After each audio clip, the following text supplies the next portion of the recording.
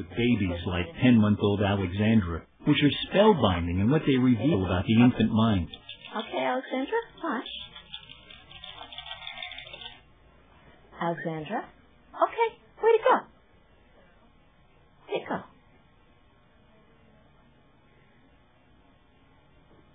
Where'd the toy go? Good job.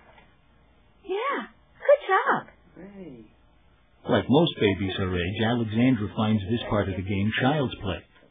Okay, hold her head again. But now Adele hides the toy a second time. Watch where it's going. What, Alexandra? Hello? Watch where it's going. Okay, Alexandra. Good. Where'd it go? Where'd it go? Where'd the toy go, Alexandra? Alexandra seems a little bemused, Where'd it go? but not half as much as I am.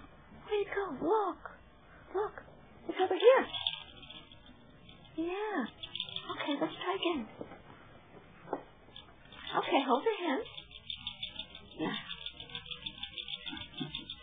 Are you watching? Are you watching? Despite watching intently, the toy goes into the left-hand well for a second time. She's so sure of herself. Amazing. Now, what what's happening there? Why is Oh. Ah. that happening? Well, what I think is happening is she's got only a very fragile memory of being here. And she got rewarded for going here. So I think you have a battle going on between the fragile memory of where the toy went and this very strong impulse to go to do what was rewarded before. So they go back.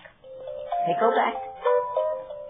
Monkeys with damaged frontal lobes make the same mistake, What, suggesting it's Alexandra's immature frontal lobes that cause her to keep going back to the same old well. Good. Again, shall we? By the time she's Graylin's age, Alexandra will be having no problem with the well.